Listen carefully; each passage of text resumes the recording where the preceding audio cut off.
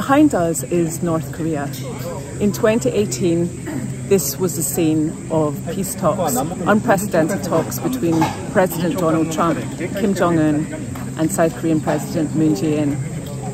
Unfortunately, those peace talks have collapsed, and now we're again seeing military tensions escalating on the Korean Peninsula. This morning, there was another missile test that flew over Japan for the first time in five years. At 7:29 a.m.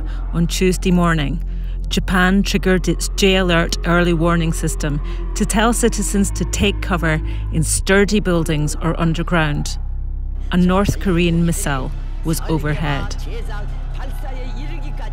The wail of sirens rang out as missile warnings appeared on TV screens for the first time in five years.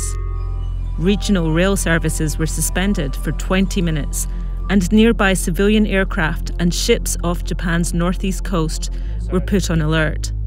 The missile flew over northern Japan, travelling more than 4,000 kilometres from its launch pad before falling into the Pacific Ocean.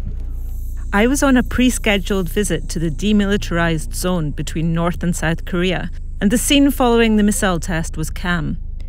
The only indication of a North Korean military presence was a twitching of curtains in their headquarters overlooking the joint security area, where a concrete block denotes the military demarcation line between the two countries. Once the scene of historic peace talks between Kim Jong un and former US and South Korean leaders Donald Trump and Moon Jae in, weeds now sprout through the pebbled ground on the northern side. This, as well as Pyongyang's barrage of missile tests, indicates that peace and North Korea's nuclear disarmament are still a distant prospect. Instead, North Korea is now increasingly embraced by Russia and China, enabling its threats and aggression.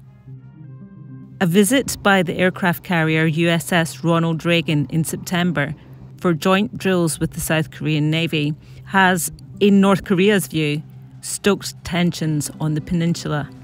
This year, Pyongyang has launched an unprecedented number of missile tests, including a suspected hypersonic weapon and an attempted intercontinental ballistic missile, which, if completed, could reach the United States.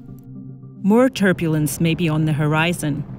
Last week, South Korea's politicians, briefed by national intelligence, warned that Pyongyang's seventh nuclear test could be conducted ahead of the US November midterm elections.